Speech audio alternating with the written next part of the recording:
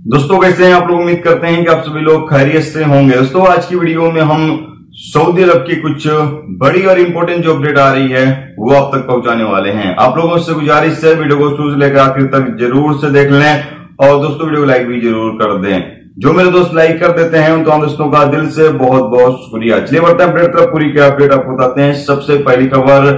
Saudi airlines की तरफ़ से एक अपडेट जारी करके बताया गया है कि अगर आप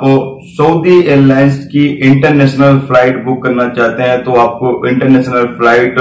बुक करने पर 50 परसेंट छूट दिया जाएगा। यानी कि मसलन 2000 का टिकट है तो आपको हज़ार रियाल का ही टिकट मिल जाएगा। अगर हज़ार रियाल का टिकट है सऊदी एयरलाइंस का तो वो टिकट आपको 500 रियाल का मिल जाएगा। तो जो लोग भी सऊदी अरब से सफ़र करना चाहते हैं, सऊदी अरब आना जाना चाहते हैं, या जो लोग उम्र करने के लिए आना चाहते हैं, या फिर जो लोग घूमने फिरने के लिए आना चाहते हैं, या विज़िट वीजे पर आना चाहते हैं, या फिर सऊदी अरब से आप छुट्टी पर जाने की प्लानिंग कर रहे हैं फना पर जाने की प्लानिंग कर रहे हैं तो आप लोग सऊदी एयरलाइंस की फ़्लाइट बुक कर सकते हैं। 31 अगस्त तक टाइम है आपके पास 31 अगस्त तक आप सऊदी एयरलाइंस की इंटरनेशनल फ़्लाइट बुक करेंगे तो आपको 50 परसेंट छूट मिलेगा। आपकी जानकारी के लिए बता दें कि हो सकता है हर डेट में आपको ये छूट न मिले। आपको चेक करते रहना होगा किसी डेट में छूट आपको मिलती है तो उस डेट में आपको सऊदी एयरलाइंस की फ़्लाइट बुक कर लेनी है और आप 50 परसेंट फ़ायदा ले सकते हैं यानी 50 परसेंट आप छूट ले सकते हैं। अगली अपडेट यह है कि सऊदी अरब से तकरीबन एक लाख ग्यारह हज़ार से ज़्यादा पाकिस्तानियों को डिपोर्ट कर दिया गया है। उनके देश वापस भेज दिया गया है जेल के ज़रिए से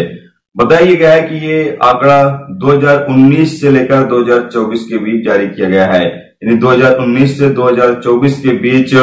सऊदी के अंदर काम कर रहे पाकिस्तानी जो इलीगल तरीके से रह रहे थे, उनको गिरफ़्तार किया गया और एक लाख ग्यारह हज़ार से ज़्यादा लोगों को पिछले पाँच साल के दौरान चार से पाँच साल के दौरान सऊदी अरबिया से डिपोर्ट किया गया है सिर्फ़ पाकिस्तानियों को। और इतनी ही तादाद कुछ इंडियन की भी होगी, हालाँकि इंडियन का यहाँ पर आंकड़ा नहीं जारी किया गया है, लेकिन इससे ज़्यादा इंडियन लोगों को भी डिपोर्ट किया गया अपडेट यह है कि सऊदी अरब के अंदर जो लोग ड्राइवर हैं, गाड़ी चलाते हैं,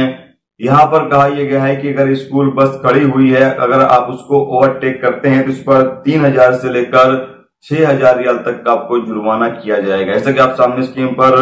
वीडियो क्लिप या इमेज के माध्यम से देख सकते हैं कि वीडियो में आप देख सकते हैं कि स्कूल बस अगर खड़ी हुई है और अगर कोई शख्स अपनी गाड़ी से उसको ओवरटेक कर देता है, यानी आगे निकल जाता है उस पर उस बंदे को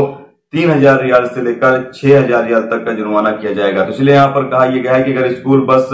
खड़ी है और बच्चे उसमें चढ़ रहे हैं या बच्चे उतर रहे हैं तो उस सूरत में आपको करना यह होगा कि आपको इंतज़ार करना है जब तक स्कूल की बस चलने न लगे, जब तक आप उसको ओवरटेक नहीं कर सकते हैं। नहीं तो अगर आप ओवरटेक करते हैं, खड़ी हुई बस पर, यानी स्कूल के बस बस खड़ी हुई है, बच्चे उतर रहे हैं, चढ़ रहे हैं, उस सूरत में उस बस को आप ओवरटेक करते हैं तो आपको तीन से छह हज़ार रियाल का जुर्माना पे करना पड़ सकता है, क्योंकि स्कूल शुरू हो चुका है और स्कूल बस भी चलने लगे हैं। तो इसलिए यहाँ पर सऊदी ट्रैफ़िक डिपार्टमेंट की तरफ़ ट्रैफ़िक डिपार्टमेंट की तरफ़ से ये जानकारी दी गई है। इसके अलावा वाली अपडेट यह है कि साउथ मिनिस्ट्री ऑफ़ हेल्थ की तरफ़ से अपडेट जारी करके बताया गया है कि मंकी पॉक्स के वायरस को लेकर एहतियाती कदम उठाए जा रहे हैं। एहतियाती जो रूल्स रेगुलेशन हैं, उसको अपनाए जा रहे हैं ताकि इस वायरस से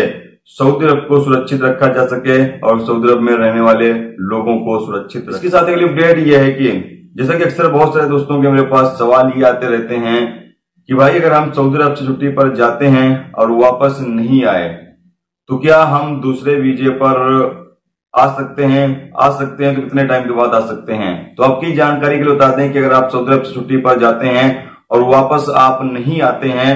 तो आपका जब वीज़ा एक्सपायर हो जाता है, यानी जो आपका छुट्टी का वीज़ा है, वो समाप्त हो जाता है तो उसके बाद आप कभी भी नया वीज़ा लगवाकर सऊदी अरबिया आ सकते हैं। फिर भी आपको कुछ वक्त इंतज़ार कर लेना है छुट्टी का वीज़ा समाप्त हो जाने के बाद एक दो, एक से दो महीने इंतज़ार आपको कर लेना है और उसके बाद आप